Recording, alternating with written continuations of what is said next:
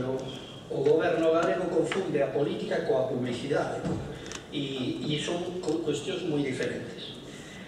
Eu diferenciaría dúas cuestións eh, básicas señor conselleiro. Por unha parte unha cuestión moi legítima é que vostede e nós estamos nas antípodas na concepción do que debe ser a política enerxética neste país. Eso é legítimo e a segunda parte son algunhas das mentiras e medias verdades que dixo vostede aquí eso deixo para o final, para desmentirlas concretamente. E estamos nas antípodas, porque nós eh, nos facemos a pregunta, pode facerse hoxe en día no mundo unha política enerxética que non fale do teito do petróleo, da escasez de combustibles fósiles a que nos enfrentamos, se pode facer unha política enerxética sin falar do cambio climático?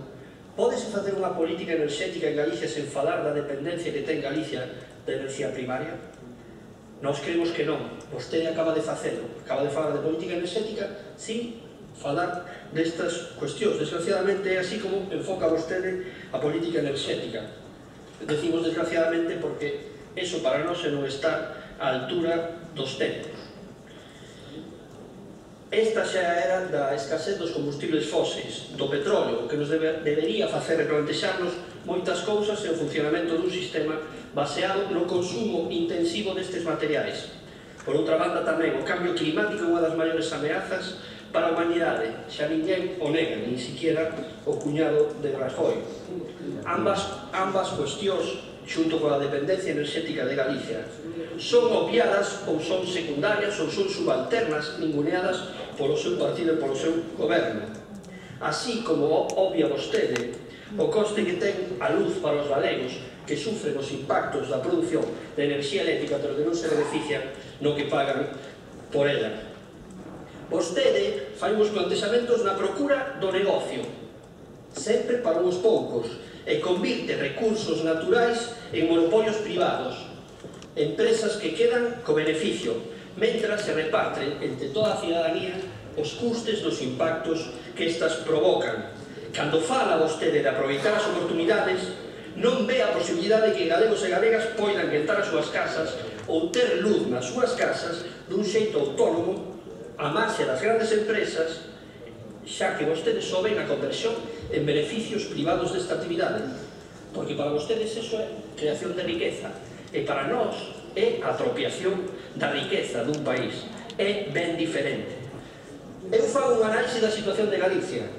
Galicia exporta aproximadamente o 36% da súa produción, produción que se obtén a base de fortes impactos ambientais e sociais neste país.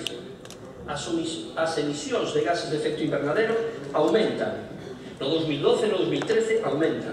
Os ríos están ocupados, os montes están ocupados por parques eólicos. As térmicas de Meirama e das Pontes contaminan todos os anos E que sacamos nós do, do que vostede di que somos unha potencia porque producimos moito? Bueno, eu eh, facería o análisis. Que recibimos nós por todos estes impactos, señor Conselleiro? Porque o que non sabemos é que estas empresas xeralmente tributan fora e os galegos pagamos a electricidade igual de cara que noutros sitios onde non sufren estes impactos. Galiza tamén hai que analizar ten unha dependencia energética primaria de combustibles fósiles principalmente do petróleo de 80%. E con esta situación o que nos creemos é que neste pa este país necesita reducir a dependencia enerxética. Non se pode seguir coa dependencia actual duns produtos que se van a rematar. Aumentar o aforro e a eficiencia enerxética. Pero primeiro o aforro. Pódese mellorar a eficiencia enerxética e non producirse aforro sustituir, ollo, sustituir e non incrementar a capacidade de producción, posto que non ten sentido. Incluso se inter... en conta os criterios ambientais, de que vivimos nun mundo finito con recursos finitos, que beneficios saca Galicia da exportación de enerxía. Isto tamén significará facer previsións, plans que teñan en conta o peche dun horizonte moi cercano das térmicas, das pontes e meirandas que son, siguen formas de producción totalmente ineficientes, contaminantes, que pagamos todos os impactos para que se beneficie gas natural e Endesa.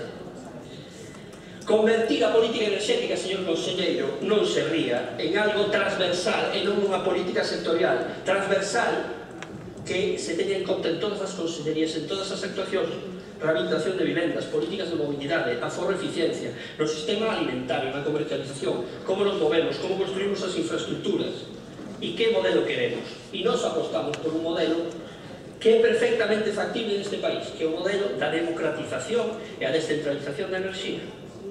Vostede falaba do descentralizado, unha mentira moitas veces repetida, acusando só as enerxías renovables do déficit tarifario.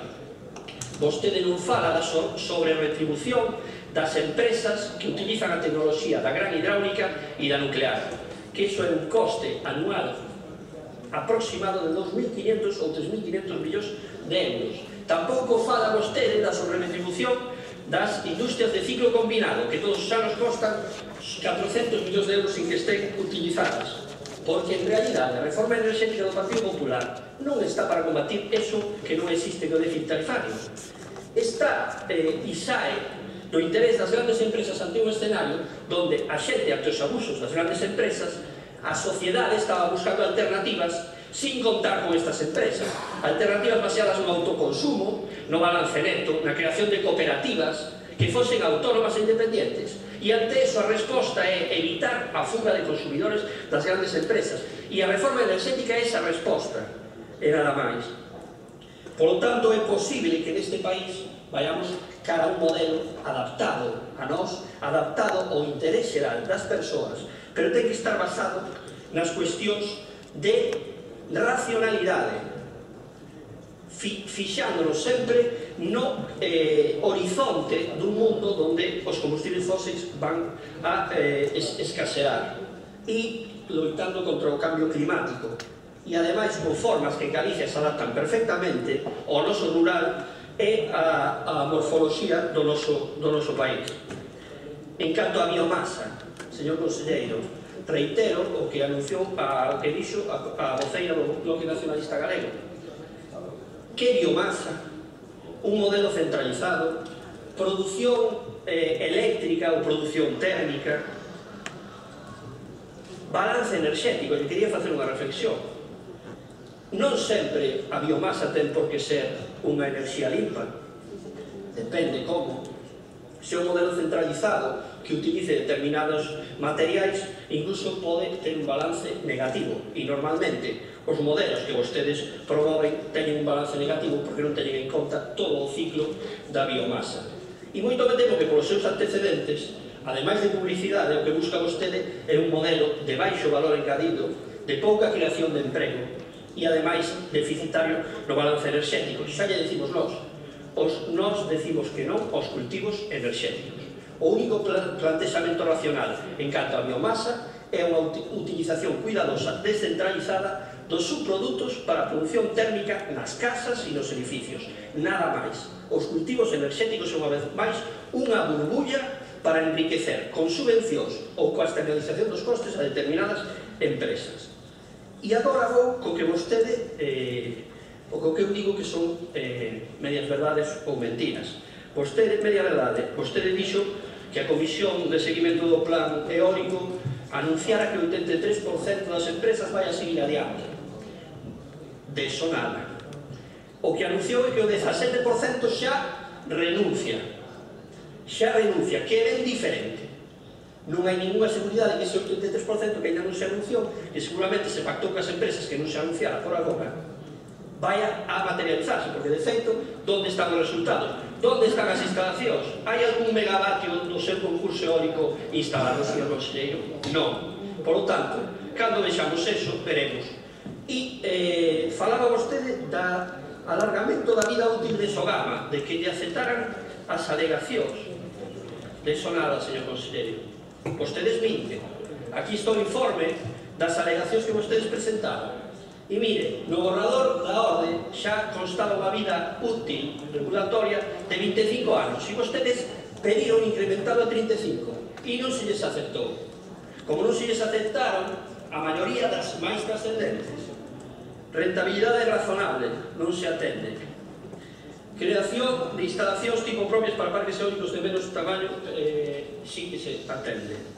Incremento de ratios de inversión caracterizando os estándares non se atende Variación de costes de explotacións só parcialmente. Consideracións a aplicación dos límites superiores de funcionamento? Non. Por tanto, o éxito eh, que vostede fala pois é bastante, bastante pobre.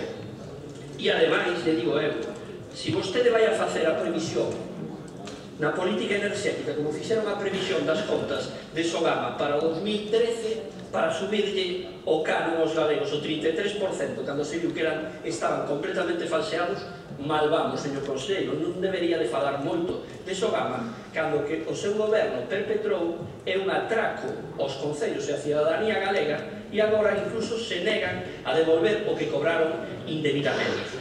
Por lo tanto, señor conselleiro, estamos nas antípodas. Vostede goberna para crear negocio para as grandes empresas.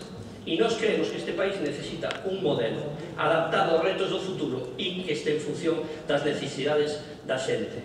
Por que vostede non falou e o Partido Popular non leva pouco tempo no goberno de que o sector gandeiro podería ter unha situación moito mellor se si nestes anos tivesen unha política de implantación de enerxías renovables nas granxas galegas, como hai en Dinamarca, en Alemania.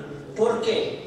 Por que, señor Conselleiro? Gracias. Non lles interesa. Gracias. Non lles interesa, porque iso é fomentar a autonomía das persoas e a independencia das persoas con respecto a estas empresas que tratan de reter os consumidores nas súas carotas. Gracias, gracias, señor Sánchez.